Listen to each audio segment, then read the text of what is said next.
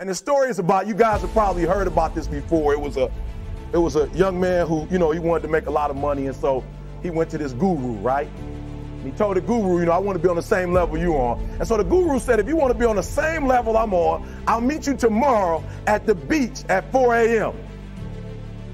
He liked the beach. I said, I want to make money. I don't want to swim.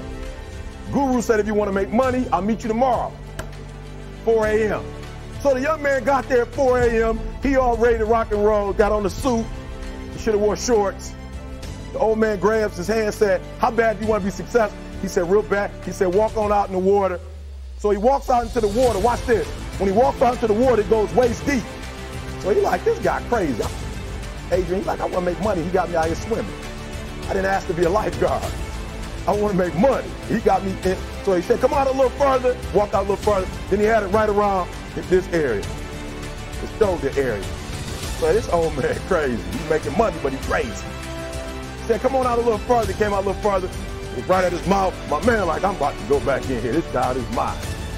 So the old man said, I thought you said you wanted to be successful. He said, I do. He said, walk a little further. He came, dropped his head in, held him down. The man was about to pass out. He raised him up. He said, I got a question for you. Somebody answered the question for me. He said, when you were underwater, what did you want to do? Word said, I wanted to breathe.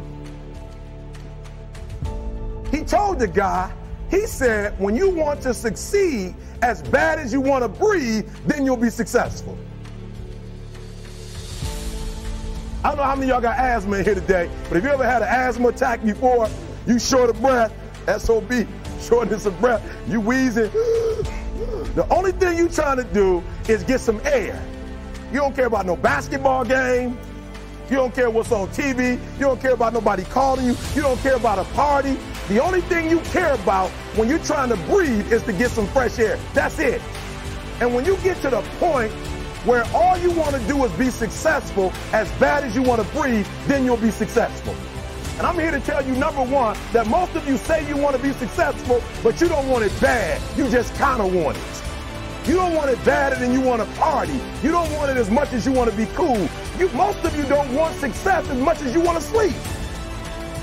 Some of you love sleep more than you love success. And I'm here to tell you today, if you're going to be successful, you've got to be willing to give up sleep. You got to be willing to work off for three hours of sleep, two hours. If you really want to be successful, some days you're going to have to stay up three days in a row. Because if you go to sleep, you might miss the opportunity to be successful. That's how bad you got to want it.